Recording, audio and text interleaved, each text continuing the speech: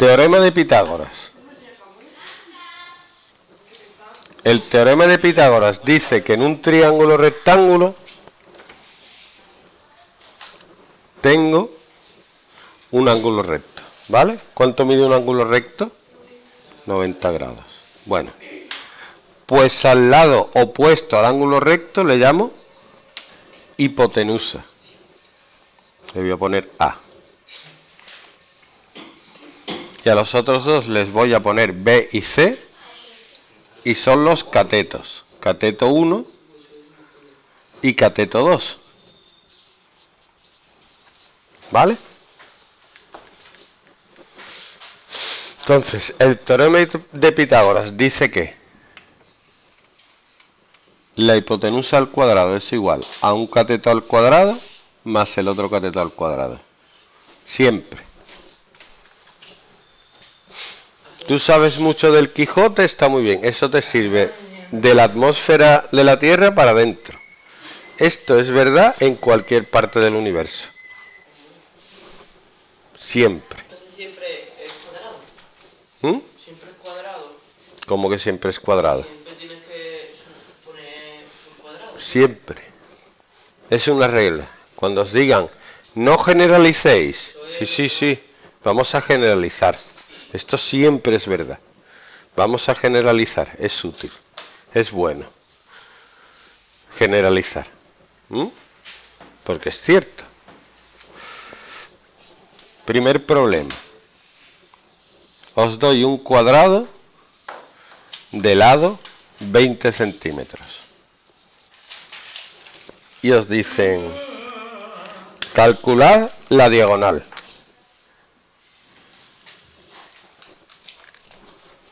¿Puedo calcular la diagonal de ese cuadrado?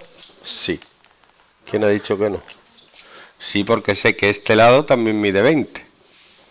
Y me puedo quedar con este triángulo, que es rectángulo, porque este ángulo es recto. Esto es un cateto y mide 20. Y este es otro cateto y mide 20. Y mediante el teorema de Pitágoras puedo calcular la hipotenusa. Entonces, puedo escribir que a al cuadrado es igual a un cateto al cuadrado más el otro cateto al cuadrado.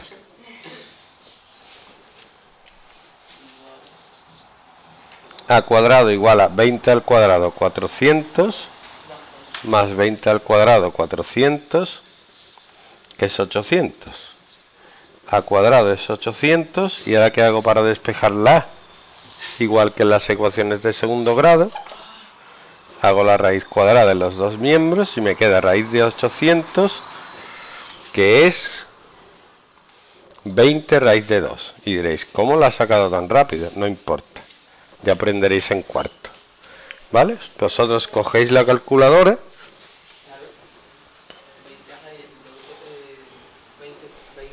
al cuadrado es 400 por 2 800 cogéis la calculadora y hacéis raíz de 800 ¿cuánto es?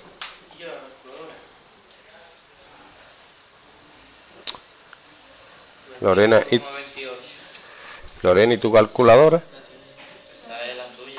ah vale.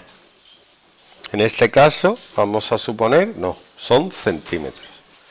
Vale primer ejercicio. Algún problema alguna duda